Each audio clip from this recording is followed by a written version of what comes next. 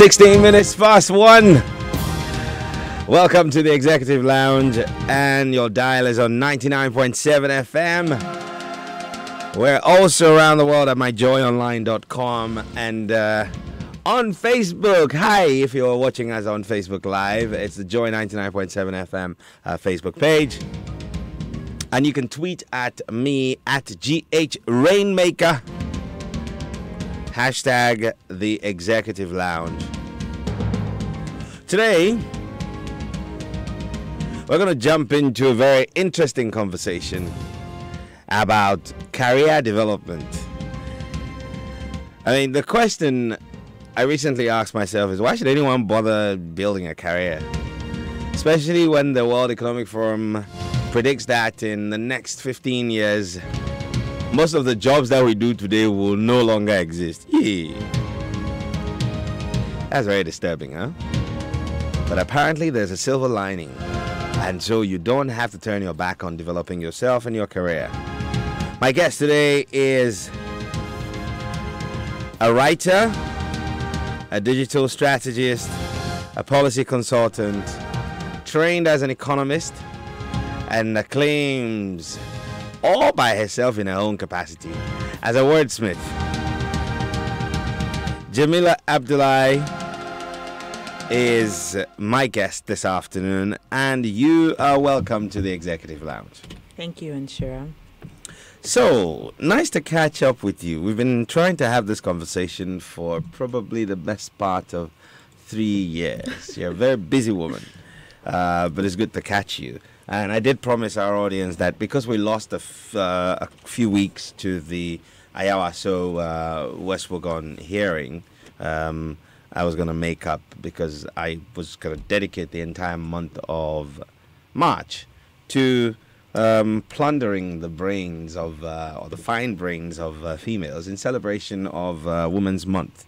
Um, but I think we're going to try and extend it and even do only females in the month of uh, April as well. That's great. Yeah, I think we should do that. So, you're welcome, and uh, good to have you on the Executive Lounge. Thank you, and good afternoon to your listeners. Yes, I'm sure they're very excited, and they're also saying their good afternoons. But before we go into this um, all important conversation, you run uh, circumspect.com. Um, you trained as an economist, you're a policy analyst, uh, consultant, you're a digital strategist, you write. I mean, you wear like a million and one hats. Where did you learn to do all of these? Um, I think I started pretty young. I was hyperactive as a child. Ah, like me. Yes. Couldn't sit still. A psychologist diagnosed hyperactive. So Okay.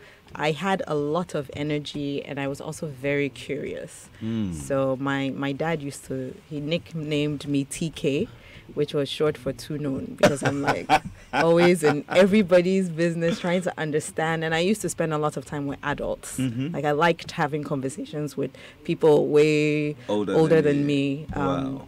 So I think that's kind of where it started, just that curiosity to understand things, to try to see why things are the way they are. And that curiosity is actually what led me to doing economics Mm. because I wanted to understand like why do we price things the way we price them Mhm. or why um, why do we have certain goods on the market and not other ones of course I didn't understand it like that then uh, but when I was going to um, Wesley Girls High School I chose general arts and I focused on economics and one of my teachers, uh, Mr. Edu Taylor, bless his heart, um, he really made a difference for me because he made economics fun. Right. He made it very fun, and that appealed to the analyst in me to be able to think not just based on appearances, but what's happening behind the scenes, leading to what you're seeing on the surface. So that's kind of where I got into economics. Um, I started using computers at four years old, so which was very early for my generation, mainly because my father um, is a computer scientist, and both he and my mom are teachers by you know by nature they're Mhm. teachers and they work in the education space, and so at home we always had books we always had there was always a computer as far as I could remember, Yeah.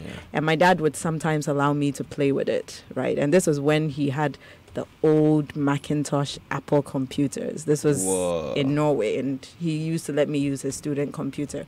So I had a very early affinity to technology, and um, as someone who's a people person, I think I geared more towards the networking um, element and also eventually the social networking elements of of, of um, technology. Interesting stuff. So early exposure to technology, just basically being in everybody's business, uh, curious about curiosity, um, led you down a path of um, getting to uh, know more about the world and and and just build on this curiosity. So you find yourself wearing many hats now, which is a cool thing. Um, but your work, you know, you you've worked across about ten different countries. Yeah. Um, do you find that for someone who's curious, you s- were able to fit into these spaces well and easily? I mean, I think um, when it comes to traveling, I think everybody has their cycles or their rhythms. Um, so I definitely dealt with um, some of the elements of trying to fit in or find your place, uh, even when um, living in African countries. So I lived in Senegal for a little over a year. I lived in Ivory Coast, Tunisia, um, and with each of these countries, I definitely went through a period of acclimatation. Um, but I think if you are somebody who is curious and who is especially interested in learning about the world or learning about other people and their cultures, uh, you actually find that process to be an empowering process. I mean, not to say it's not painful.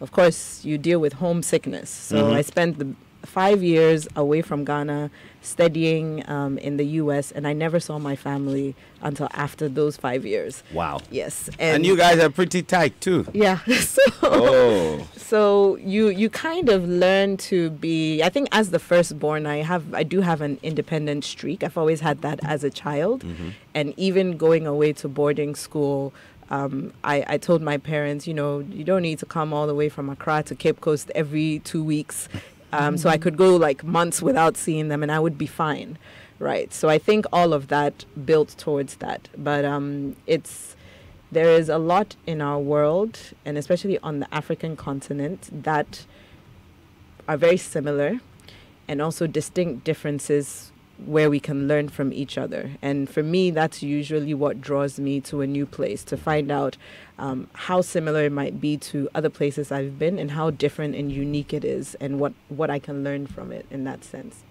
Is it always um, easy to to be curious and travel across the world and this continent as a woman? Definitely not. Um, I think when you're traveling as a when you're a solo traveler, meaning you're traveling alone, and especially if you're a solo woman traveler, you have to take certain precautions. So you need to be aware of like what neighborhoods you're you're staying at. You need to at least have somebody on the ground who you can contact. Uh, usually, if it's for business purposes, then that would be like the client or a partner. Mm-hmm. But if you're just traveling for leisure, it's useful to connect with people.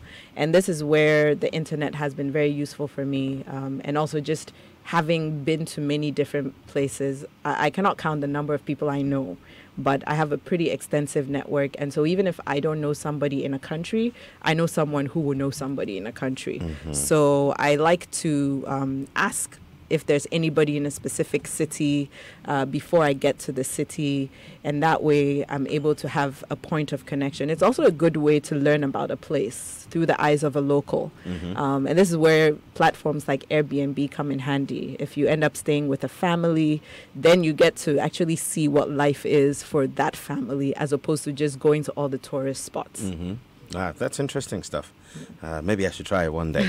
so let's let's now jump into um, the career development, Yes. um, especially in this digital age. And I like the fact that you know you've leveraged technology uh, from a very early age. Um, bless your mom and dad. Yes. Thank you, daddy you and know mommy. that you have um, access to computers. There's some who don't, but Yeah.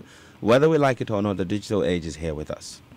Um, what are some of the tools looking back at your own? I mean, of course, knowing you were curious, um, the, if you look back at the journey, uh, how would you distill what you would say could be some steps or key milestones that people need to work towards to be prepared for any sort of career uh, that they want to in the digital age? Okay, so I actually think the the essentials or the things that you need in Mm. order to navigate career development in this age are actually not necessarily technologically linked. Um, the first thing I would say is curiosity. Okay. Right. I think you definitely have to be someone who wants to learn and who has a spirit that's open to learning. Right. And if you have that, then that's where you're going to find yourself getting into spaces where you can learn as much as possible. Uh, so in in junior high school, I went to Alsyd Academy, and whenever they would give us class projects, uh, I wouldn't only do the projects based off of my class notes. My parents had an, an encyclopedia because teachers, right? so I would actually open up the encyclopedia to find out more about whatever topic it was, and then use that information and put it into my my research project, report Yeah. um, eventually, when I really started using computers, uh, I would go with my father on the weekends to his office and claim to be doing research. Mhm. Right, that was my thing. I'm like, I'm going to do research. I don't even know what I was researching, but it was just being in that space, right? And those were also opportunities to do research and find out different things. And so, very quickly, I, I found myself, this was in 97 to 2000, thereabouts. Mhm. I found myself in Yahoo chat rooms. Wow. Yes, so I was a teenager sitting in Yahoo chat rooms, um, basically playing counselor to people all over the world, even though I hadn't like been through, I'm sure, a lot of the things that they had been through at that point in their age. But that was because at that time I thought I wanted to be a psychologist. Okay. And so that was like practice for me to go and have conversations with people, try to understand them, and try to give them advice. So that's kind of where it started for me. So curiosity is definitely a big one. Mhm. Um, another one is you need to be willing to find out the things that don't necessarily come easily or readily to you. And I think this is very important in the context of Ghana's education Mhm. system, where in many respects it's lacking, right? So you might get a solid education on a very specific industry. Um, or very specific skill, Mhm. but you might be missing on some of the soft skill elements. And what do they mean by soft skill elements? Things like how to present yourself, Mm. um, public speaking, how to do business writing, those those elements. And that kind of information you can definitely use the internet to to get. And there are many resources all over the world that you can tap into. But I uh, I find that whenever I would use some of those resources, the question that I always came back to was, how does this apply to me? Mhm. Because I never actually saw myself in, let's say, the images or the videos, because they Mhm. don't look like us for the most part. They're not necessarily African or Ghanaian, um, and and so that became a burning passion for me to be able to uh, try to be resourceful, not just for myself, but for other people who might need that kind of information.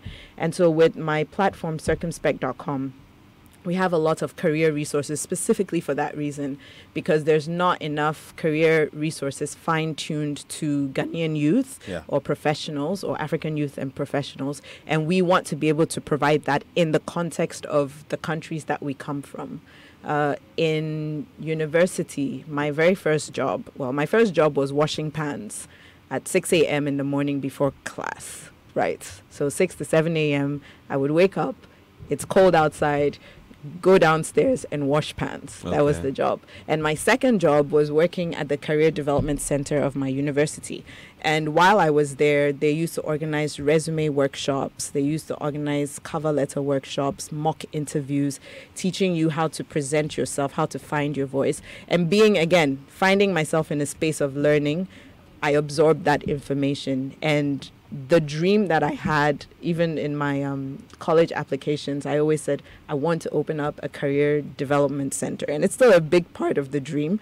Uh, it's just we're taking little bites of it with circumspect Mhm. and, and other initiatives. So I think finding yourself in the right spaces. Mhm. Um, that said, if you do not have access to the internet, because that is a reality for many of us, um, you should try to craft your own opportunities. If, for example, you are looking for um, a job in a very specific sector, and in Ghana, that sector is very small, or there aren't enough companies offering opportunities.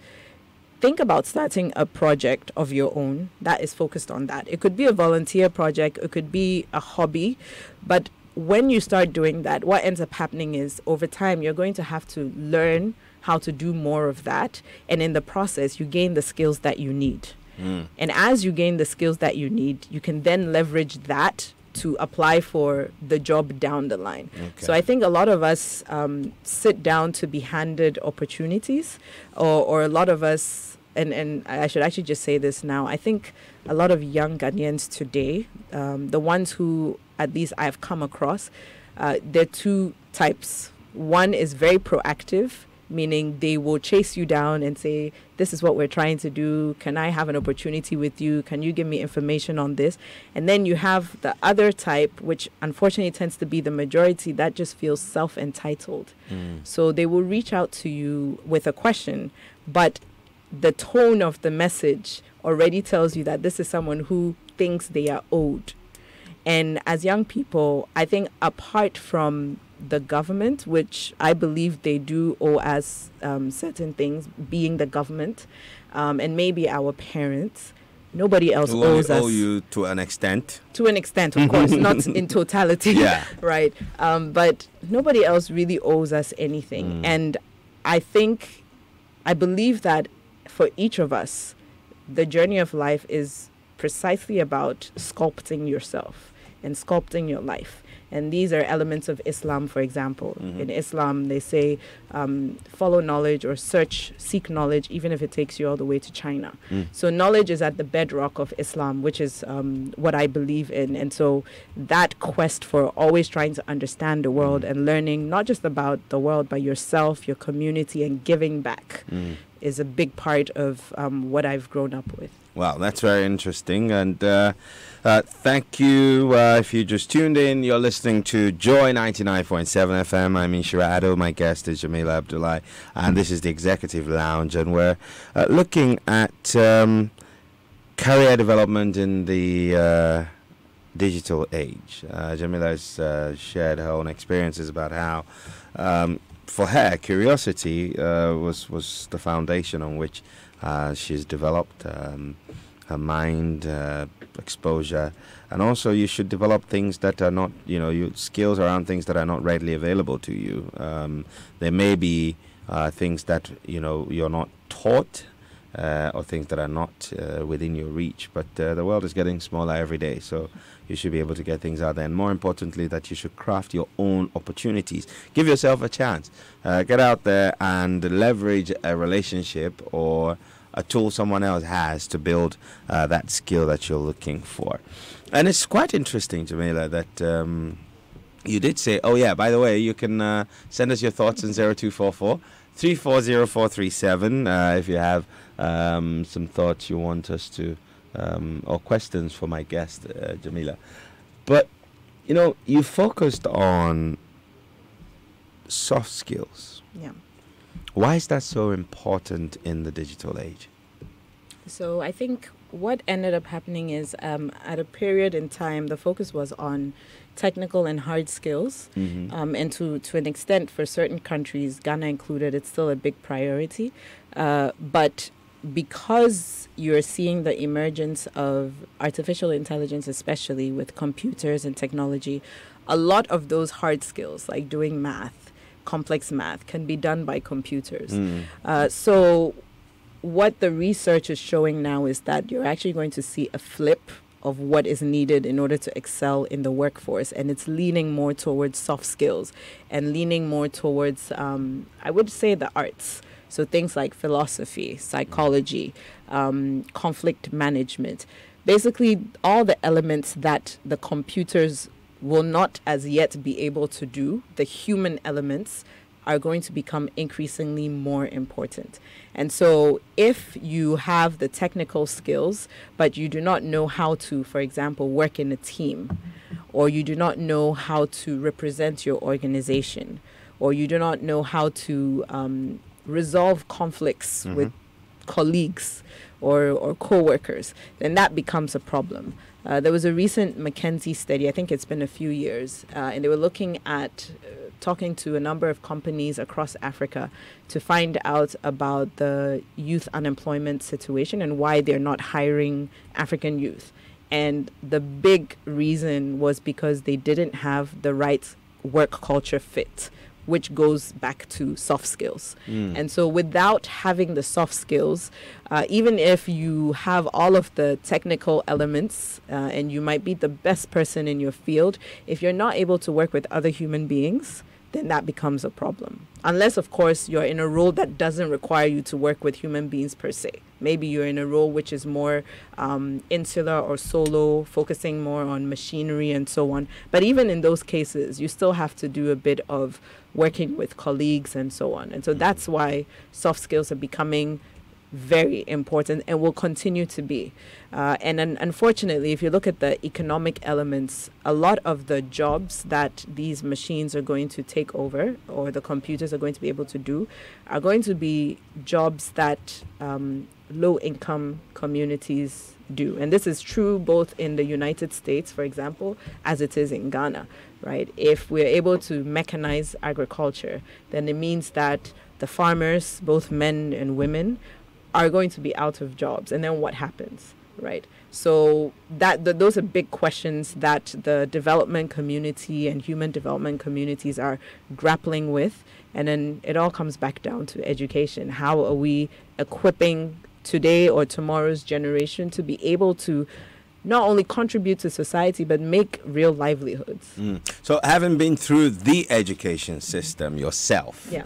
um, if you look back with all of these, you know, imminent changes, what would you do differently if you had the Free rein? the free reign to just, uh, to, you know, direct us in the in the path we should go? I think, ah, man, that's like one of my favorite questions.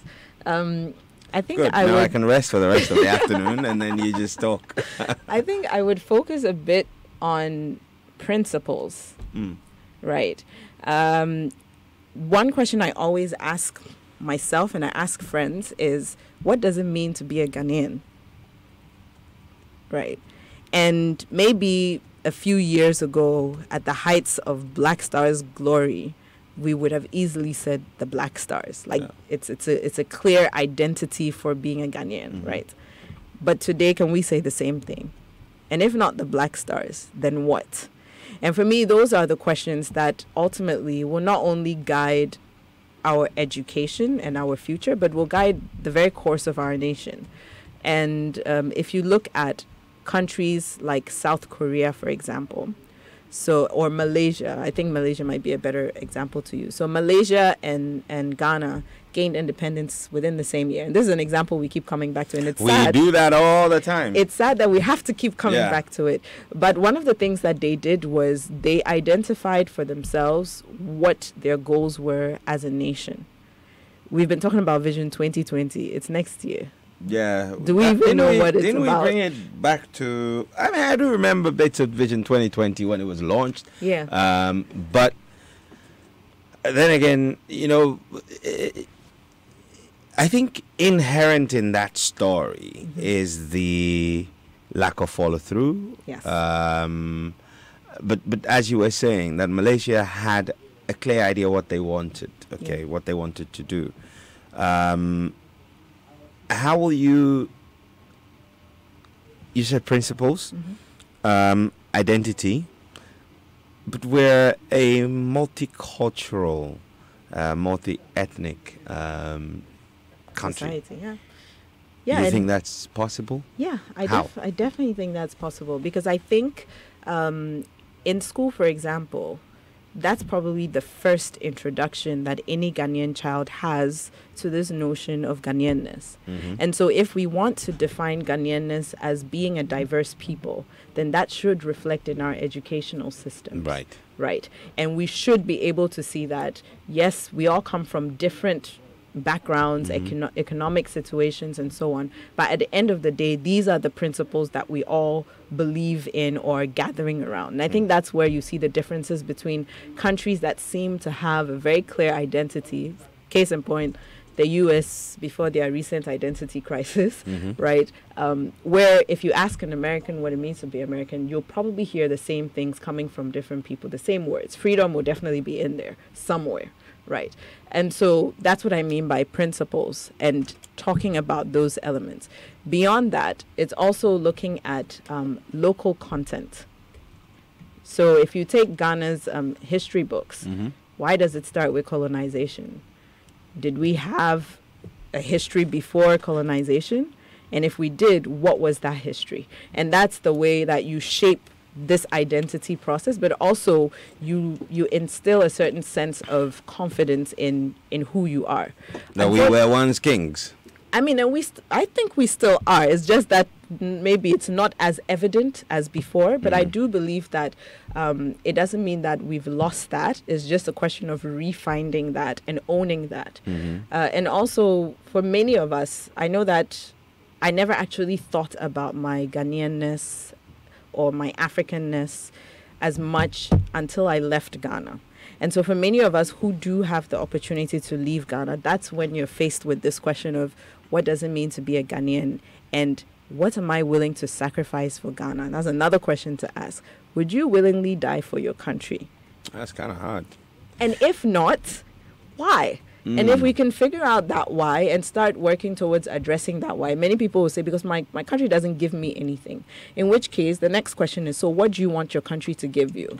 And then we can start saying, okay, priorities wise, people want education, people want electricity or XYZ, right? So I think a lot of it is is the intangibles. We focus a lot on rote learning, but I don't know if we leave enough room for creativity, for imagination, mm-hmm. for real dialogue and conversation. And if young people and children are given the opportunity to be more creative and not feel like they have to be boxed in right from the jump, I mean, I can only imagine what will happen.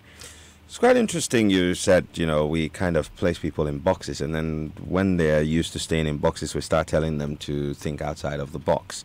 Um, the Japanese don't do any examination until after age four, um, and and one of the things that they're taught is what makes Japan a wonderful place and, and a wonderful people. And we all remember in 2014 at the World Cup when the Japanese fans actually cleaned up, um, you know, the the section of the stand. And I think the team also cleaned their their dressing room um, after their last game. Um, well, I think it's something they did uh, throughout. But these are things that are ingrained in the children by the time they are four. Yeah. That's because there's a plan. So it goes back to the same business of a vision. Yeah. Um, I'm now quickly mentally scanning through the seven year development plan under Kwame Nkrumah. I think it was more a development plan. I don't think it necessarily addressed the issue of our identity. Yeah. Uh, and so, will we, in your estimation, ever get it right? Because at the moment, I can't answer the questions you asked. Yeah. What makes it? What What is Ghana? What What makes us Ghanaian? I mean, I think we we do have the opportunity to explore that, and in order for us to really explore that, I do think it has to come from two elements at the high level, at the highest level. Actually, Mm. those questions should be, and it should be open. Mhm. It shouldn't come with preconceived ideas about who a Ghanaian is. It should be open, take stock of it, but also from the community level. Communities need to be able to define for themselves who they are. I'll give you an example from Rwanda. Um, so we know about the Rwandan genocide and you know how devastating it was for Yeah. this country. But in a very short period of time, Rwanda has from what we can see, made a big turnaround. Uh, now, I visited a few years ago and um, I was having conversations with a lot of the locals and some of my friends there. And they talked to me about this concept, which is called, I, I don't know if I'm pronouncing it well, uh, Ingushiru, which basically is a concept of having dignity.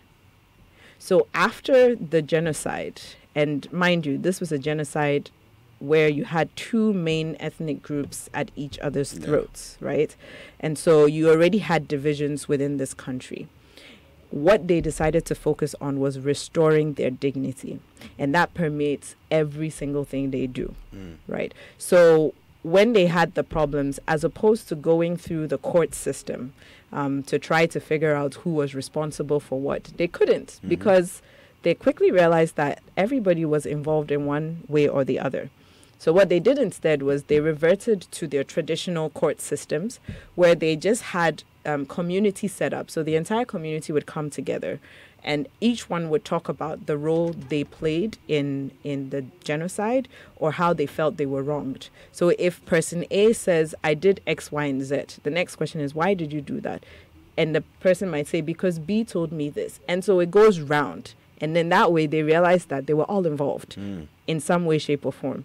And instead of putting um, the people who were perpetrators in prison, I think they did to a point, but they quickly realized that wasn't sustainable because they didn't have enough prisons. They might have. Uh, it might as well end up j- just jailing uh, half of the Exactly. population. So what they did, um, and just to give some context, dur- during the genocide, I think it was just Ga- Ghana and a few African countries that had like peacekeepers go there. Well, the Ghanaian contingent at Yeah. the time uh, refused to leave at the height of Yes. the of the of the um, The you know, genocide, yeah, I think it was uh, General Anyidoho who, who was leading Exactly. them at the Yes. time. Yeah. So you had the bulk of the international community turning away from them. They had no aid coming in. What's the next question? How do we eat? So what they did was once they figure out this is how you were involved in this situation, they will say, okay, you and your in quotes enemy, this is a plot of land. Go and farm it. wow. That's what they did. Didn't people end up burying uh, No. people in into the ground? No, they and they ended So up So they healed they healed- by bringing the protagonists together and say work together exactly. That's and that's make what something they did. beautiful happen. That's what they did. And Mm. so they ended up rebuilding precisely because of that. But more importantly, because their focus was on dignity, this time they actually had the power to determine how people, outsiders, interact with their country. Mm-hmm. So if you are going to Kigali and you take RwandAir, they have their development plan in the airplane wow. and they identify for you these are the sectors we need investment in. If there's any other sector, we're not interested for now. These are the sectors we need investment in. So this is an example of how they took something which was a vision from the high level, but they also made it very localized. Mhm. And um, I mean, for me, that's that's an example of what we could do if we are committed. The other thing is if we are actually committed and our purpose is actually to build our country and not necessarily to just have individual gains. Mm. But there's the question of the um, the demographic dividend. Yeah. I mean, w- population is going to go like through the roof. Mhm. Um, jobs that are low level, low skilled jobs are likely to go away. So we're going to have on our hands lots of young people Yeah. um, that need new skills. Um, you've said that one of the quickest ways to bridge that gap would be that people have to develop um, soft skills. Um, but this must be situated within the context of an identity and, and the country going somewhere and a Yeah. plan. Um, you've talked about how we should educate that, you know, so let's focus on principles, Mhm. uh, one. Um, and the second one was um, Principles, diversity. yeah, diversity. That we're all very different, and, And that should be taught at a very and local content. Fantastic. So these three things would give us a sense of who we are and the confidence we require. How will that distinguish us from another developing country and give us the kind of leapfrogging we're dreaming about? So personally, I think we're too focused on appearances. right? I think what ends up happening is that we do things, but we do it to see how people will perceive us, Mm. as opposed to just doing them. And there's no, I mean, there's no um, guarantee that this will pan out the way we want it to pan out. But I think the doing is in the process, and we live right now. We tend to live a lot on on um, past glories, right? Mhm. So we like to say that we are the first sub-Saharan African countries gaining. Like honestly, I get tired of saying that, right? Because then the question is, so what do we have to offer now?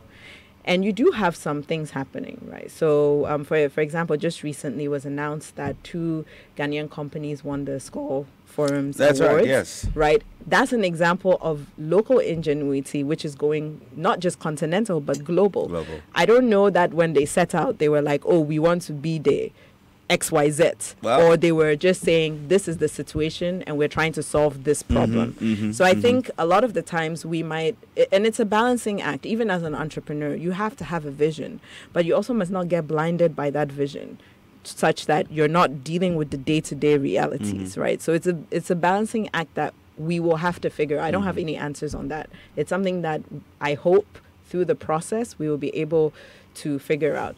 And I wanted to just circle back a bit because I Mhm. think a big part of it is also about self-knowledge on an individual level.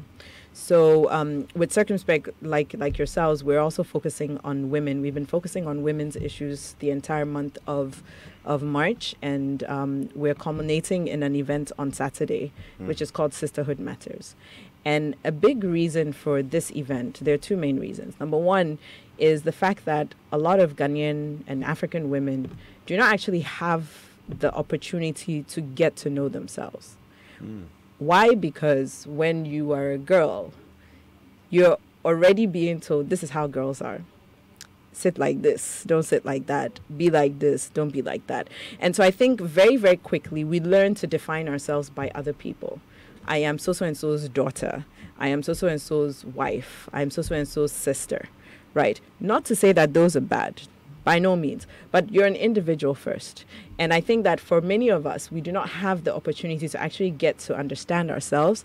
And in so doing, we understand what our strengths are, what Mm. our skills are, what our interests are, and how best we can then contribute to society. Mhm. And so through Sisterhood Matters, what we are trying to do is give women and girls that opportunity to explore some of those questions. This year, we're focusing on women's health and well being. Mhm. And part of that well being is how do you build relationships, whether business or personal? Mhm. Um, how do you take care of yourself?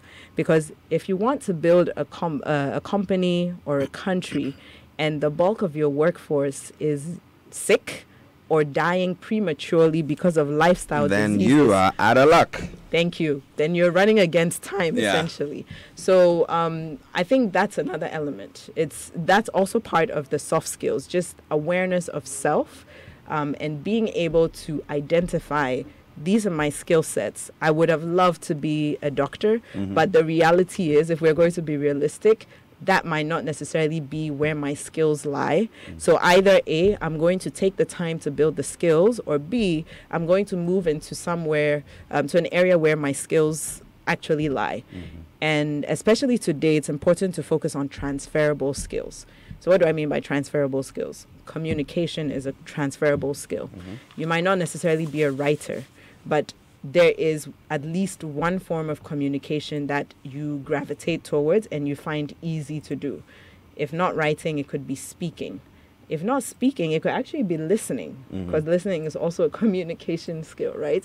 Um, so, if you're able to identify some of these things and build upon them, then you would then have the chance to say, okay, career wise, this is probably where I should be going. Wow, very, very, very solid, solid, solid points. And uh, this is the part of the show that I don't like very much when when it's almost time for us to say goodbye. Um, it's it's been fantastic talking to you. I think for me, the five things I'm going to walk away from this conversation um, are that back to be curious. Yeah. Um, and uh, secondly, I think that you've demonstrated the passion required to give hope that all is not lost. That no matter where you are, you can start from that point to to to the end that you're looking for. Number three is the importance of vision. Uh, that we, we we have to have a very concise idea of where we want to be. Uh, whether as individuals or as a nation, there has to be a certain tangible uh, vision. Um, and then number four, know yourself. Yeah. Um, not a lot of people, um, you know, do know themselves. I don't know if I know myself very well. I, all and I know is that changing, I am. right? Yes, yes, yes. Just before you, you, you know, when you think you've learned all, then something else happens, and then you discover something. Um, but um, the final thing, though, I, I find is that um, create the future that you're looking for, um, and and that comes from um, you said it's important that we sculpt ourselves as we go along, uh, and also craft your own opportunities. That The things that you're looking for are out there, but they're not going to come to you till you go looking for And them. also collaborate. Aha. Also collaborate because the reality is no one person has it all. Mm-hmm. and um, this is how if for example still going with with women's month Mm. theme if women support each other then there's more that we can achieve Absolutely. right if by any miracle of god we have the two main political parties actually coming together to work together for ghana then imagine what could happen Yeah. um, so collaborate and don't be restricted by the boxes or the boundaries Mhm. right? Um, I'm more as likely to work with another African from South Africa or Senegal or Mhm. Tunisia as I am from Ghana. Mhm. The point is, if there's overlap in your visions and in the kind of work that you're doing, there's opportunity to work together. So it's also important for us to um, step away a bit from being so Ghana centric Mhm. to actually look at what's happening across Africa because there's a lot happening, Mm. and many of us think Ghana is the end all be all, but it's actually not the case. Okay. Wonderful. Thank you so much, Jemila Abdulai, uh, for making time to join us on the Executive Lounge. And uh, just a couple of notices. Um, so the weekends could only get better. Uh, relationship, family, fashion, lifestyle, health, uh, wellness recipes, you name it, it's all in there. Uh, anything for dad, mom, big brother, little sister, kid bruh. All your puzzles are in there too. Remember to buy the Mirror this and every Saturday. Uh, that's the Mirror, Ghana's most popular family weekend news platform. And also, um, if you are looking to um, scale up your startup, um, the Ghana Oracle Digital um, Enterprise Program is open, and um, you can call 0303 978 396 to join uh, the um, incubation. Um, you know, we're looking. They're looking for startups that they can help scale up, and uh, this is going to be launched in a couple of days. Uh, but if you do want to increase your own business potential, just call 0303 978 396 or just go to my uh, social media handles. It's GH Rainmaker on all platforms, and you should be able to pick something up. So, I'm going to leave you with a song by uh, our favorite, uh, Wiyaala, uh, and this is for you, Jemila. This is uh, Tinambai, uh, which I think is a really good song. Enjoy, have a good day, go forward, make rain. Shalom, till next time.